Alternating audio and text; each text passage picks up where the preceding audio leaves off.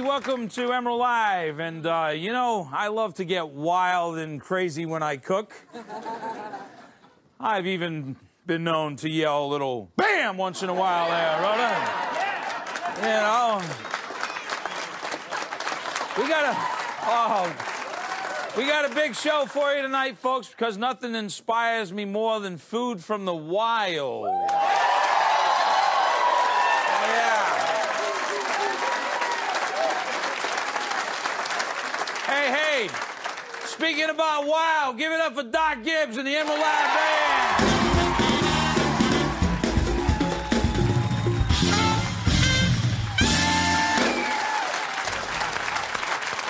We're going to take everybody on the wild thing tonight, folks, right here on Emeril Live.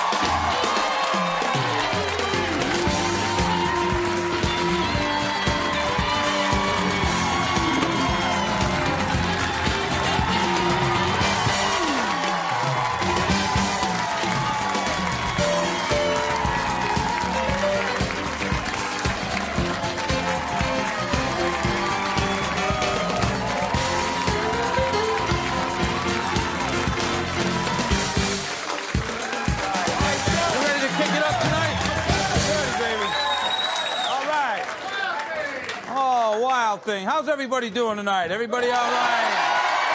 Yeah.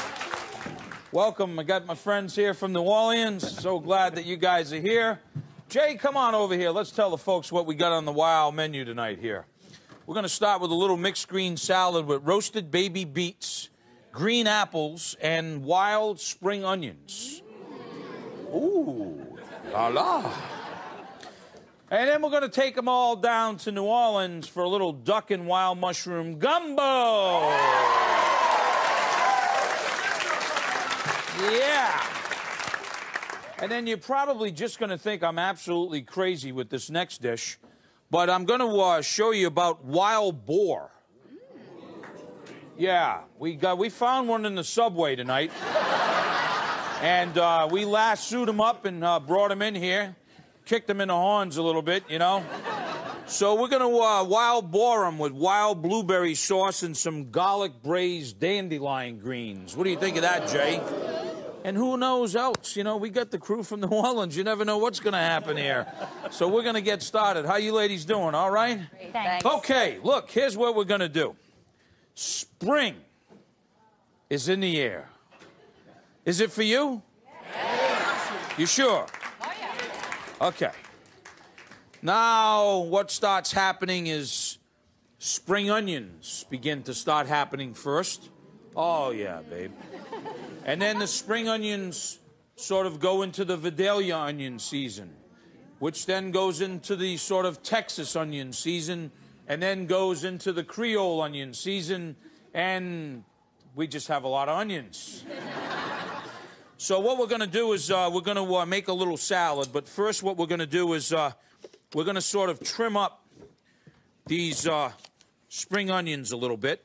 Not, uh, you want to leave. See, they got a good firm part of these here. Can you see that, you? See, look at this. We got it's nice and firm, plenty of flavor in there. So uh, what we're going to do is we're going to put them in some olive oil, a little salt and pepper, take the ends off, and uh, just sort of let those marinate a little bit, get nice and tasty. Doc, are you uh, sort of in the uh, wild mood tonight there? Yeah, man, I'm feeling very wild. You are. Oh. Well, that's good. That- that's good. That's really, really, really good. Great. And how about the boys? Are they feeling a little frisky tonight too? Out of our minds. Out of our minds. Uh, just out of your minds. Did I tell you Doc Gibbs and the Emeril Live Band's in the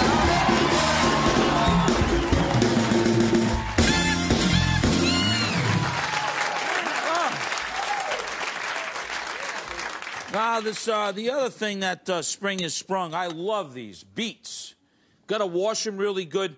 Now, here's what turns people off. What turns people off is they think you got to peel the beets. Well, if you have these like little baby beets like this, if you wash them, you got little vegetable brush. You don't have to get all like your hands all funkied up, either, you know, red or yellow or whatever color. Wash them good. And what we're going to do is we're going to clean these up, also toss them with olive oil, and we're going to start roasting the beets in the oven. While the beets are roasting in the oven, we're going to take these spring onions that I'm going to marinate a little bit more with some extra virgin olive oil and a little bit of salt. Mm, mm, mm. And some cracked pepper here. And I think what we'll do with these, since they're nice and marinated, is get those just on the grill because I like this sort of little charred taste of the spring onion. So the beets are going in the oven. The uh, spring onions are on the grill. When we come back, I'll show you how we're going to finish the salad. Doc Gibbs in the Emeril Lab.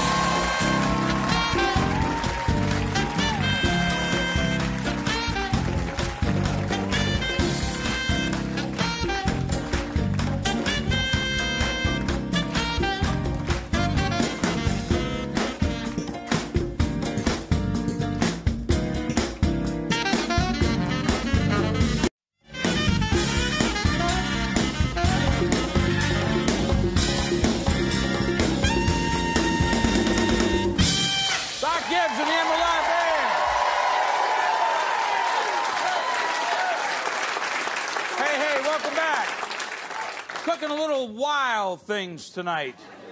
Spring is sprung. You got ramps, you got spring onions, we got these baby beets.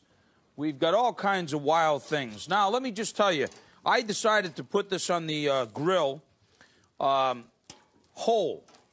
And also, um, you can cover them and sort of trap. You can you can put them in a smoker. That will work really well. You can also cut them in half, uh, where the cooking time will be less, which I have right here. Now, when the baby beets, which I absolutely love, are done, you want to take them out and you're going to let them cool a little bit. And I'm going to come back to that in a second. Now, um, I'm thinking about components of this wild spring onion and baby beet salad, and I get a little goat cheese that comes to mind. Yeah, just mmm. little pine nuts uh, that uh, during the commercial break we just sort of in a skillet sort of toasted them so they got good and brown, and now all the oil is out of there. And I thought a great combination with beets are apples. So I have a little Granny Smith apple that I peeled and just diced. So I have those components now. And uh, now I'm ready to, uh, to make a little dressing to go with this to, to help it. So I'm going to start with shallot. Uh, you could have uh, red onion. Uh, a little bit of garlic in here would be nice. Uh, and then uh, what we got here is a little bit of Dijon mustard.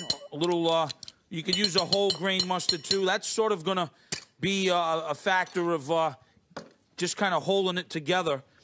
Apple cider vinegar. You know, it just doesn't have to be balsamic. Everybody's on a balsamic kick. I love balsamic, but you know, there are other vinegars out there, folks. It's amazing. Try sherry. She's always good. or apple cider. We'll just, you know. Then uh, what we're going to do is we're just going to take and have a little bit of uh, orange concentrate or a little reduced orange juice. Really, really, really just impact flavor there. Uh, of course, a little fresh ground pepper goes a long way for me, and a little salt also. Okay, now. Now is when you want to go and get that extra virgin stuff. Okay? I mean, there's regular oil, there's the regular olive oil, but something like this for a good salad dressing, now you slowly drizzle in. We're not going to use a lot. We're not using like a whole bottle. We're just going to drizzle some good olive oil in here, get a nice balance between the acidity of the orange juice, the mustard, and then also now the extra virgin olive oil. You know, one of the things that really comes to mind, folks, that really is helpful when you're doing this sort of thing is taste the food. You know, geez, you know, it's like, yeah, you know, you wait to the end, it's too late. Ooh la la. All right.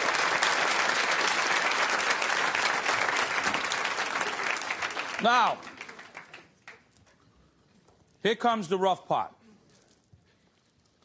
the beets. So, the beets get roasted. I have some already peeled. You got to peel them. Sometimes, like when I don't want to get all that stuff, hey, I just eat the peel. Hey, roughage, you know what I mean? Let it rip, baby, you know? Well, it's true, Rhoda. I'm not a fibber. So, if you don't want to do that, and you see, when you start peeling them like this, you see your hands, you see what happens here? That's why, for me, I have a lot of doctor friends. I go into the doctor's office, he's not looking, I get a few of these things right here. Oh, yeah, babe. Oh, yeah, look.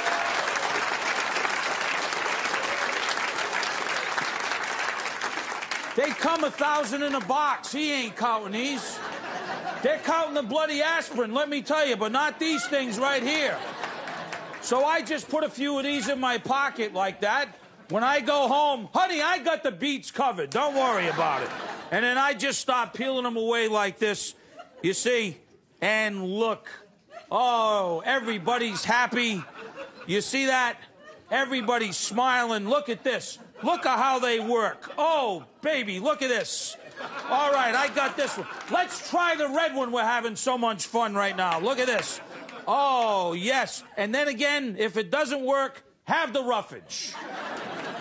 Now, you got to try to get these things off here. See, I'm beatless.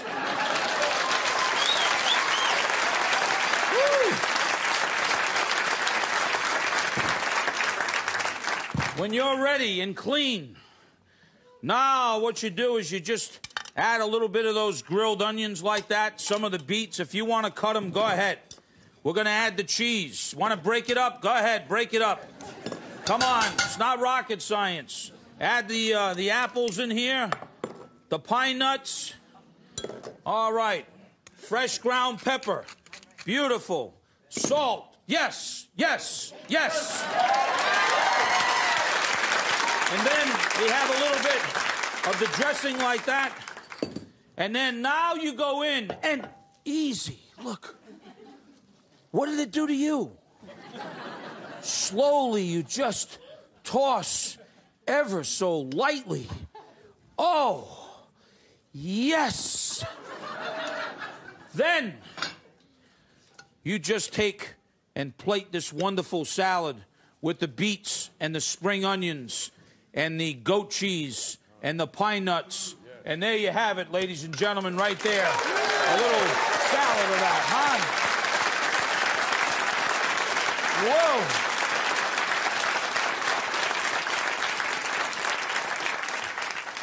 In Louisiana, we have a uh, duck season. Mississippi. See, you know, when it gets a little colder, we don't have a lot to do down there, so we just go shoot things like birds and stuff, you know? What are you doing this weekend? Ah, going duck hunting. And uh, if not, you can get some wonderful ducks. But let me tell you something. This is a fantastic gumbo that I want to show you. If you get one thing, we're going to start in a little Dutch oven with a little oil. And we're going to season the skin side first of some duck that I just put in pieces. And then what we're going to do is we're going to just start browning the duck skin side down to begin to start cooking the meat, okay? When we come back, there is a trick to this gumbo called a roux, because the gumbo itself is really, really easy. But this gumbo is absolutely delicious. You don't want to miss it. Stick around. We'll be right back. Doc Gibbs.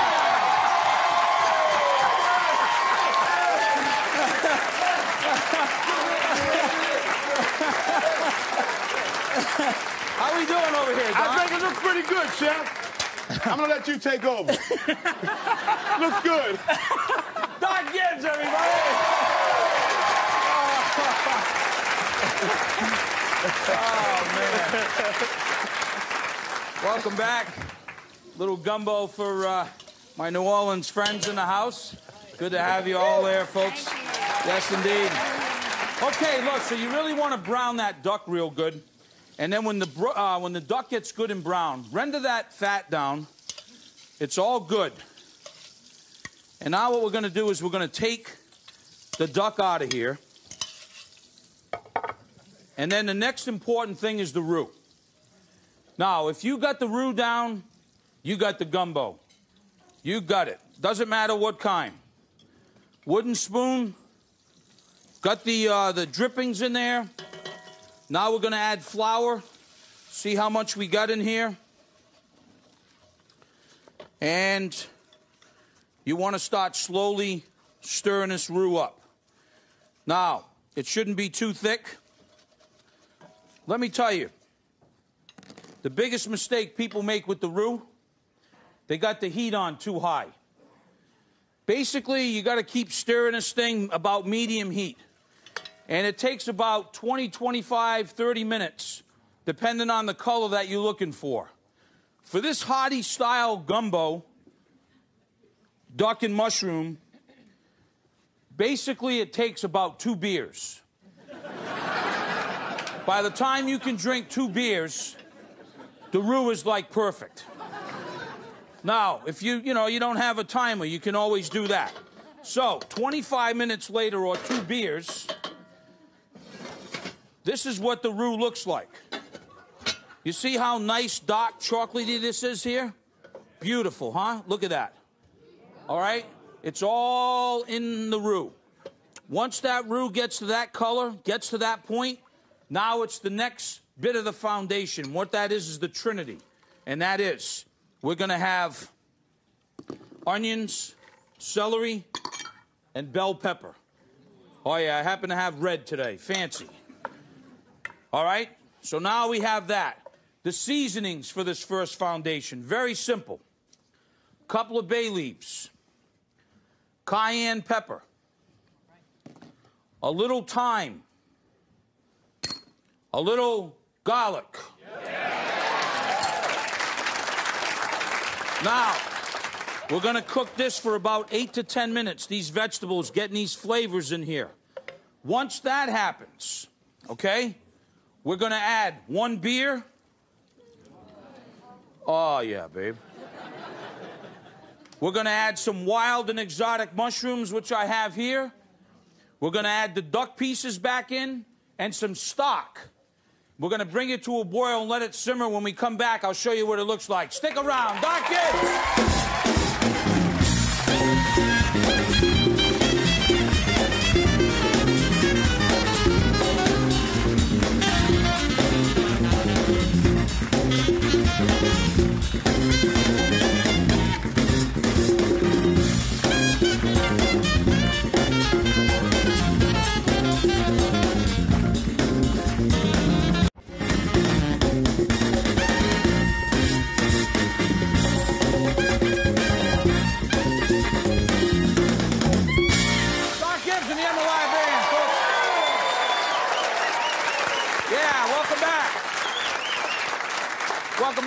Just joining us, Emeril Lagasse here, finding out where the wild things are.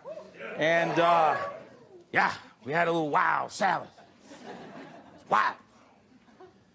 And uh, speaking about that, just give you a little update back on the uh, duck and wild mushroom gumbo. If you're just joining us, we made that terrific roux. It's all in the roux. We added the Trinity salt, cayenne, bay leaf, thyme. That's the seasoning. First foundation. And uh, we cooked that roux with the Trinity for about eight to ten minutes uh, after browning the duck, which we took out.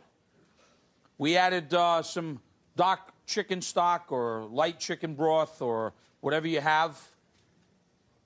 That bouillon stuff, I don't know. No, I don't know. It's- Anyhow.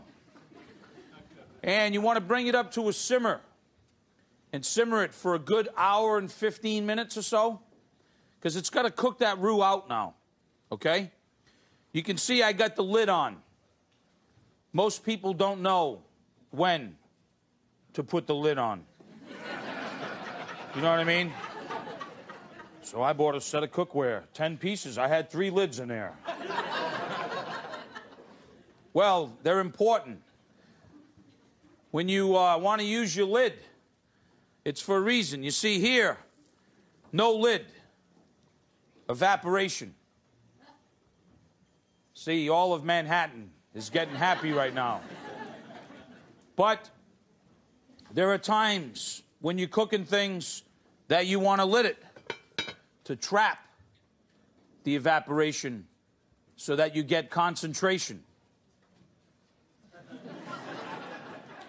Thank you very much. That cost me $72,000. now, the duck pieces after that, some of them are going to stop falling apart. That's okay. Sometimes I like to add andouille sausage in there. Sometimes not. You can use other smoked sausage. Depends what kind of mood I'm in. I got about five or six different types of mushrooms. I got the duck in there. This has now been simmering for about an hour and a half. It's going to be at least an hour and a half, two hours, folks, before you're going to get a good gumbo. As I said about the duck pieces, look. See, look, you see how they're starting to fall off the bone? So, this is a more rustic kind of Louisiana style gumbo.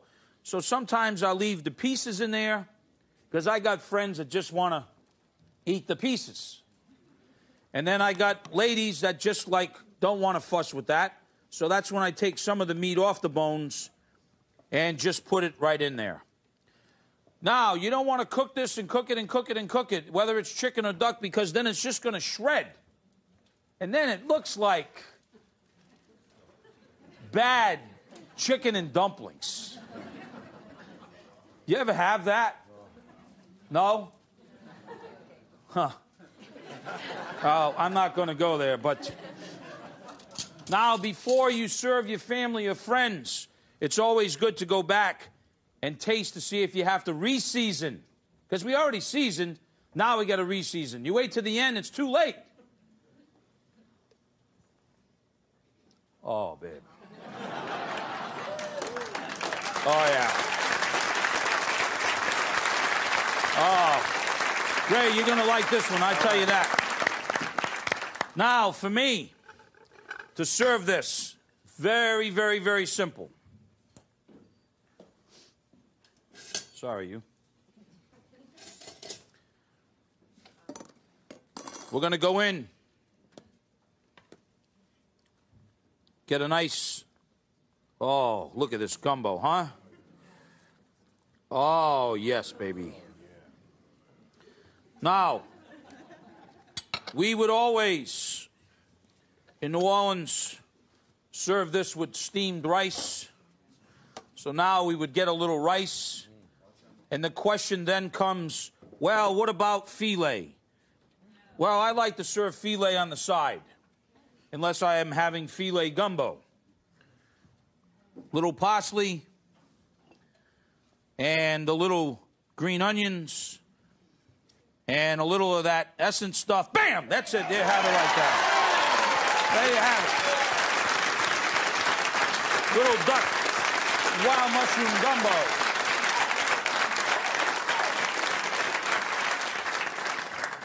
I told you earlier I was going to serve some wild boar. People really don't quite understand, or I shouldn't say people are really starting to understand wild boar. We've been serving wild boar in the restaurants for 15, 20 years. And there are a lot of farms, uh, a lot of them in Texas. Um, they're much bigger than regular hogs. They're much meaner, too. Uh, but they're really, really tasty. And uh, just consider it as just a, a little bit bigger hog. you know, if that wild thing scares you. So I take pancetta, or you can use regular bacon, pancetta being Italian bacon, or you could use whatever Irish bacon or whatever with a little olive oil, and I render that down. And in the spring, uh, and also in the fall, there's a, there's a small season of these, but particularly in the spring, there's these things called dandelion. Yeah, and people don't, you know, they look at them and I don't know, they bring them to their ponies or something. I, I but they're really, really tasty. They kind of taste a little bit like a spinach. They're really good for you. So after the pancetta is uh, is sort of done that, I take some slivered garlic like this now, and I add that in there. So until the garlic can start getting a little a little color. And um, once that happens, I, I'll come back and add just a little bit of sugar because this is a little bit bitter like arugula, but yet it has that nice flavor like spinach. And, um, and then I'll add just a little bit of vinegar in there and really just start cooking that pancetta and that garlic. And then while that's happening, I just take the dandelion and I just sort of lay them in there. And um, come back with a little salt.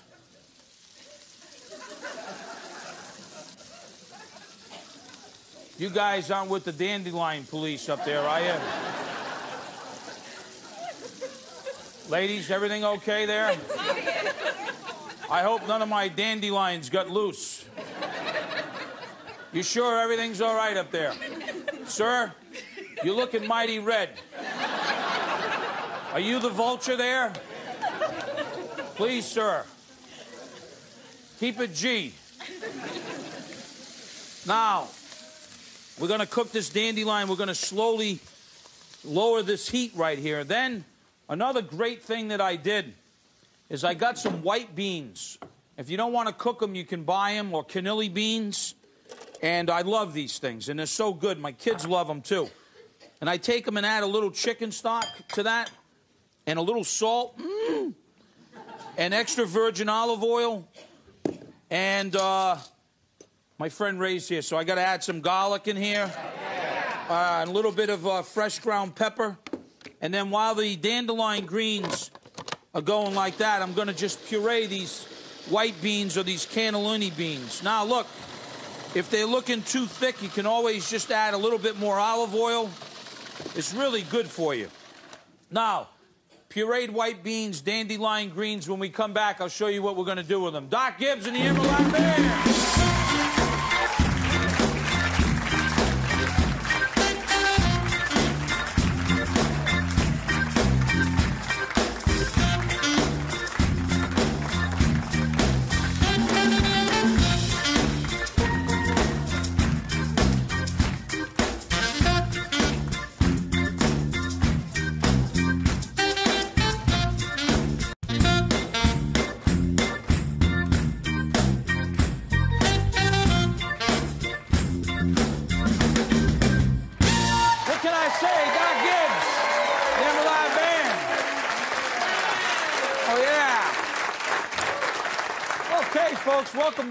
Cooking Wild now. Duck and wild mushroom gumbo in the air. All right, speaking about wilds, I was a little surprised at how big these wild boar chops are. Yeah, you can see we had uh, some folks uh, during the commercial break saying, well, how come it's not like the other white meat? You know, they're not just as pink and uh, that's because uh, they're wild and they're uh, a little bit bigger. And the bigger that they're going to get, uh, the more uh, the more that they're going to uh, they're going to grow, and, and that's why the flesh is like that. But I'm going to tell you, they are absolutely delicious. I'm going to simply just put a little bit of oil on these chops, and um, I'm going to use a little bit of essence. Is what I'm going to do, and I'm going to. Oh yeah, babe, I'm going to use some essence and uh, start on that one side, and then we'll go right in uh, on the grill here. Now you could pan sear these, and I and I generally would, but when I saw the size of these things, I told Vince and Andre, our chefs, that uh, we better go to the grill here. Uh, plus, I'm kind of like getting that, um, kind of feeling like that. You know, it's spring is sprung, and I'm kind of getting that like I want that smoky feeling a little bit, you know, like the grill or the smoker. All right, so I'm going to uh, kind of wash the hands here so the boar police they don't get all crazy. And uh, then I'm going to recap a couple of things to you. Now, we're going to definitely go and uh, season uh, the other side as well of these.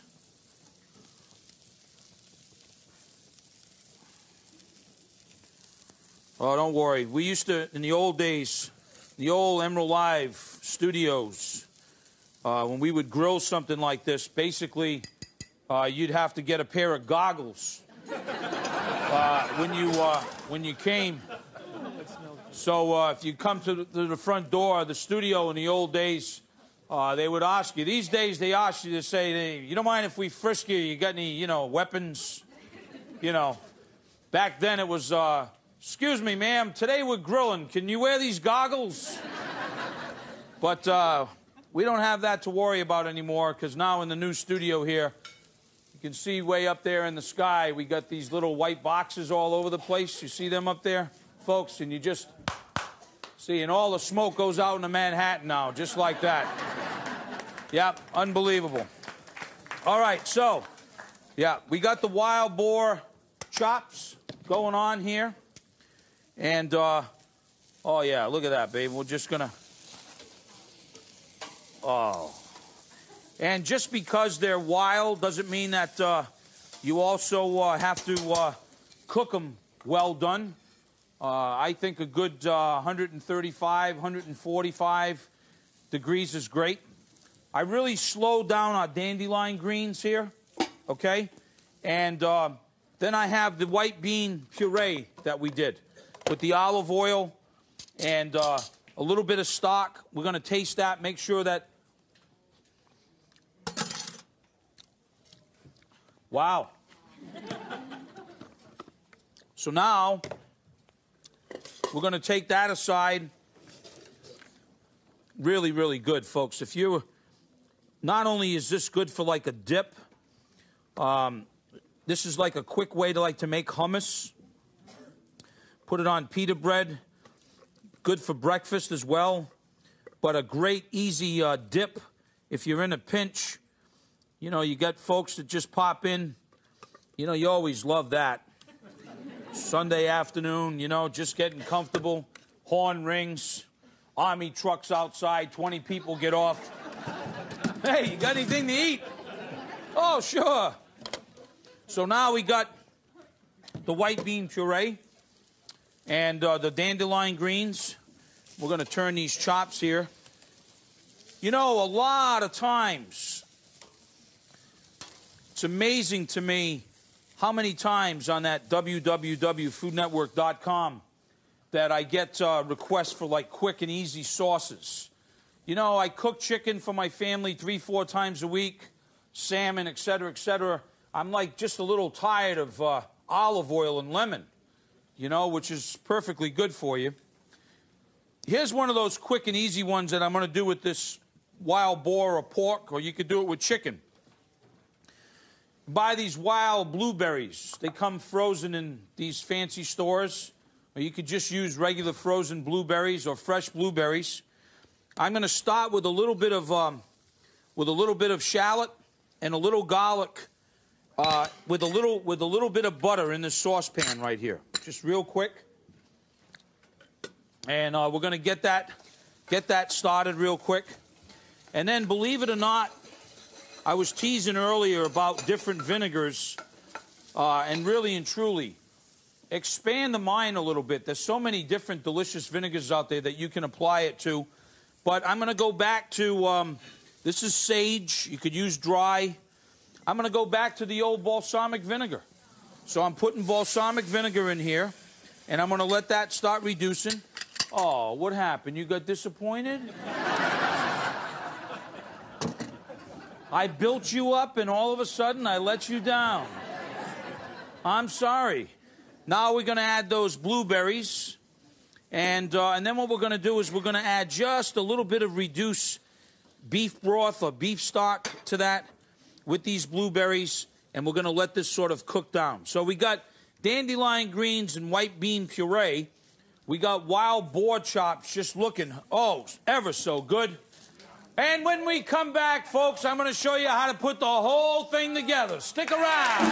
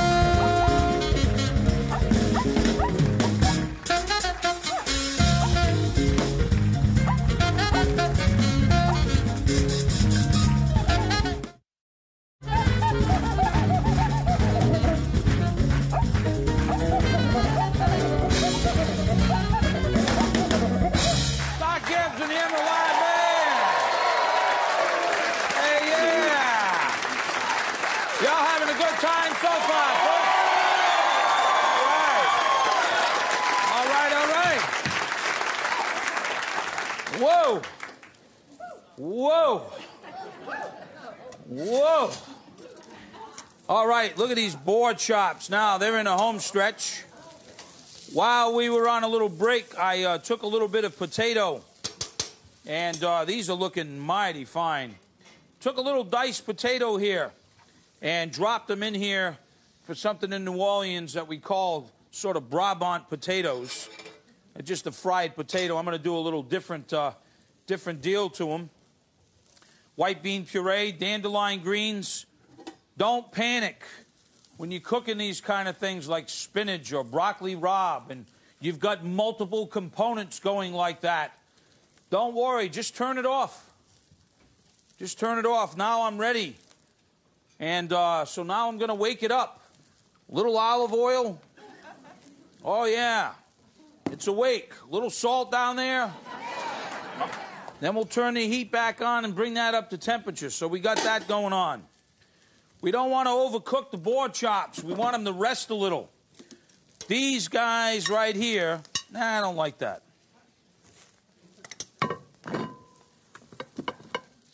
See, I can do that because it's my show. These guys right here are done, and I don't want to overcook them because there's nothing like, you know, too well done wild boar. This one here needs another minute. Ray, that's probably yours there. That's a big one. Now, we have got these Brabants right here. Take a little towel here. Oh, yeah, drain them real good. Oh, look at this. Now, you see, these guys here are ready to be seasoned. And then what we're going to do now is we're going to take a little garlic like this. And then we're going to take these Brabants in there like that.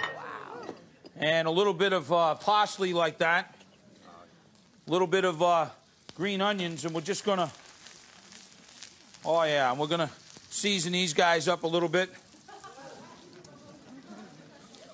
Now we'll turn that off. The blueberry sauce is looking mighty fine. All right, so now I'm about ready to just start to put this together. I got a little bit of fresh herbs here. You, I'm just going to go like that inside there. And uh, now, what we're going to do is we're just going to uh, take a little bit of white bean puree.